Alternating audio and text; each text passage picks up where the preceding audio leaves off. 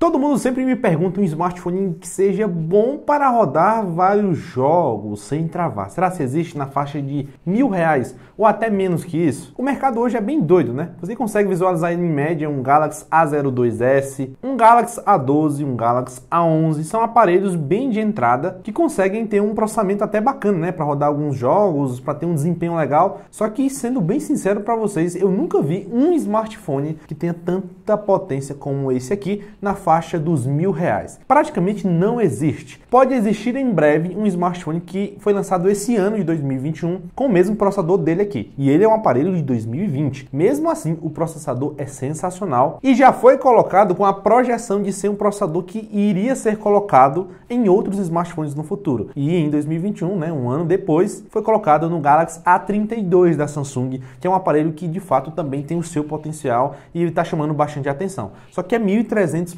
1.400 reais. Esse carinha aqui hoje você consegue achar até a versão 3 GB e 32 de armazenamento custando menos de 900 reais. É muito barato. E a versão 64, né, 4 GB de RAM e 64 de armazenamento custa mil reais. Então esses valores são muito bons. O local onde eu falo para vocês comprarem sempre é na Amazon. Se você tiver interesse em comprar esse carinha aqui após ver esse vídeo, eu vou deixar o link aí na descrição. Mas simbora, vamos comentar sobre esse rapazinho aqui rodando vários jogos bem cobiçados no mercado, Free Fire, PUBG, Call of Duty, até o Fortnite Fortnite ele roda. O bicho é bruto. Então simbora, vamos fazer o vídeo rapidinho e mostrar o potencial que esse cara aqui tem.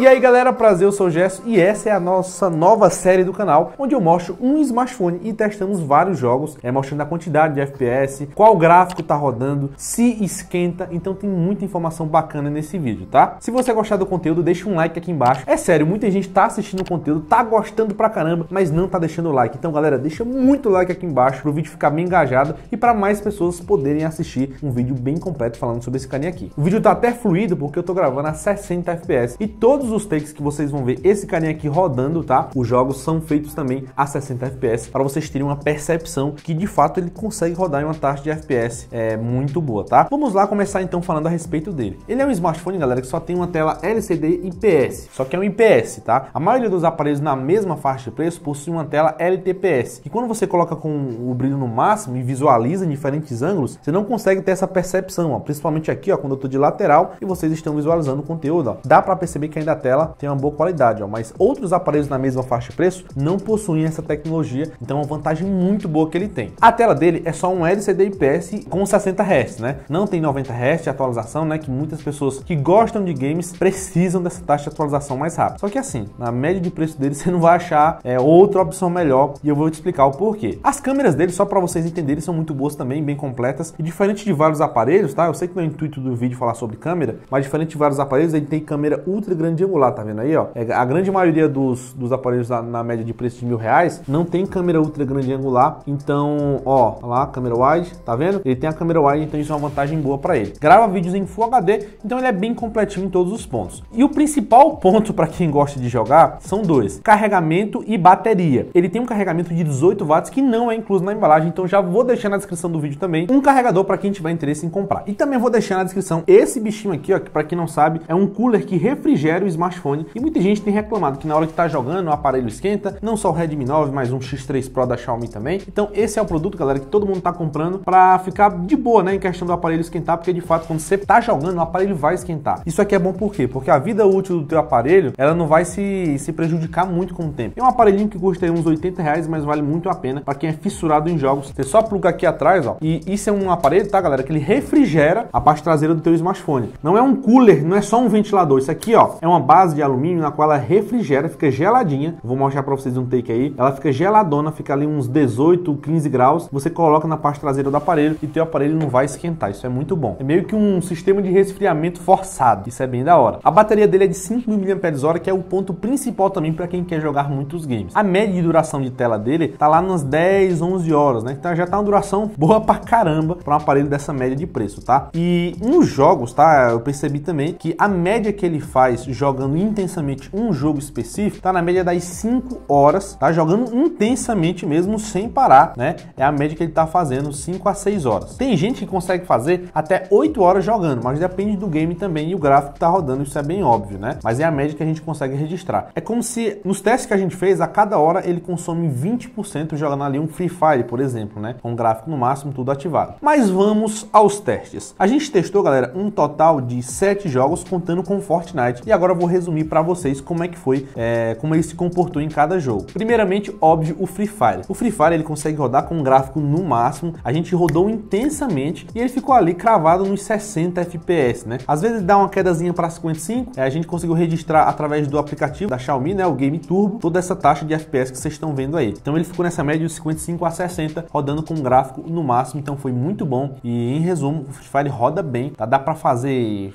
infinitas coisas. Inclusive, é um dos aparelhos mais recomendados para quem gosta de jogar Free Fire, é o Redmi 9, tá, galera? O outro game, galera, que a gente testou foi o Real Racing 3. O Real Racing 3 é um game que rodou bem, até melhor do que o próprio Asphalt 9, tá um pouco mais otimizado, ficou entre 55 a 60 FPS. Foi um game que rodou de forma bem sossegada, assim como o Call of Duty, entre outros. Outro game que rodou com um gráfico meio pesado, a gente colocou até num gráfico mínimo, foi o PUBG Mobile, rodou ali nos 25, 22 FPS, tá? Na nossa jogatina. O gráfico no mais baixo e ele conseguiu rodar nessa taxa de FPS. Até no gráfico médio ele roda, né? Uns 20 FPS, só que já se torna chato, né? É bom você rodar uns 60 FPS cravado mesmo. E assim, a gente colocou um gráfico que dá para jogar, né? Que dá para se movimentar bem. E o PUBG rodou legal também. Não vamos julgar é, desse lado também, porque ainda rodou bem o PUBG, sensacional. Outro game que a gente testou foi o Call of Duty Mobile, que é outro game que rodou bem pra caramba. Entre 50 a 60 FPS o game, tá? Só que o gráfico a gente colocou ali no intermediário, tá? Rodou bem demais, cara. Dá para se movimentar, dá para brincar legal no Call of Duty Mobile nesse smartphone aqui, tá? Foi um dos que mais rodou bem aqui. Outro que rodou muito bem também foi o League of Legends. Rodou cravado no 60 FPS, foi bem fluido. É um game bem leve, né? Então não vai, você não vai reclamar na hora de estar tá jogando League of Legends no Redmi 9. Rodou de boaça também. E outro game que a gente testou foi o Asphalt 9, né? E rodou praticamente na mesma taxa de FPS que o Real Racing 3. São games bem pesados. Então os únicos games que ele rodou de uma forma um pouco mais pesada foi o Real Racing 3, Asphalt 9 e o PUBG Mobile, né? Os três games que ele rodou ali a 20, 25 FPS nessa média, tá? Os outros roda de forma sossegada e se você joga muito Call of Duty Mobile ou Free Fire, é uma das melhores escolhas, até o PUBG, né, para quem quer iniciar e tal, tá sensacional mesmo. E esse é o Redmi 9. E para quem não sabe, galera, o processador dele é bem badalado por quê, tá? É um processador, galera, de um smartphone que é, é partindo do básico para o intermediário e é um processador que não te deixa na mão por quê? O MediaTek G80, ele tem 12 nanômetros e uma frequência de relógio de 2 GHz. Por isso que ele consegue rodar os jogos com uma qualidade boa e ele não trava na hora de você usar no dia a dia, né? O padrão de memória dele também, galera, é LPDDR4X,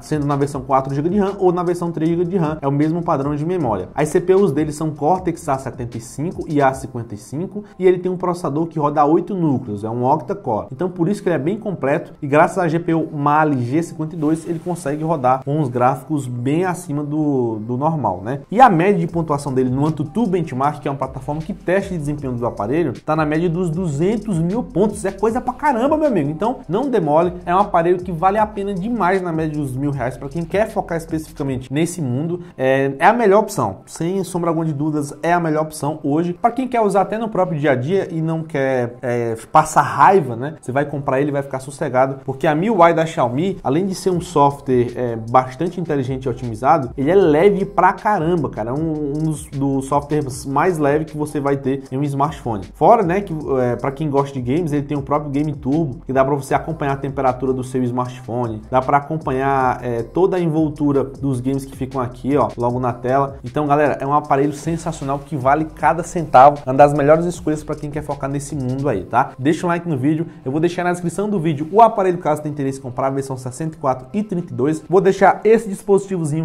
que te ajuda a refrigerar o smartphone e acaba dando mais vida útil pro, pro teu aparelho, né, para ele não esquentar, porque quanto mais esquenta, mais você tá forçando ali o teu smartphone. Claro que só, você só vai sentir isso uns dois anos de uso, mas isso aqui vai te ajudar muito, ainda vai te dar uma experiência boa jogando, que é um saco, você tá jogando um aparelho esquentando, né, sendo, vamos ser sensatos. Mas enfim, também vou deixar o carregador de 18 watts que ele é compatível, porque você compra, ele vem um carregador apenas de 10 watts, pelo menos vem uma capinha na embalagem e ele já tem película aplicada na tela. Olha que bacana. Show de bola, né? Então vou deixar todos os links aí na descrição. Deixa um like, um forte abraço, galera. Espero que vocês tenham gostado do conteúdo. Valeu, tamo junto, tchau, tchau, fui e é nóis.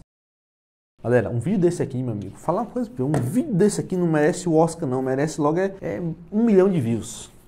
Tchau, forte abraço pra vocês. Fui!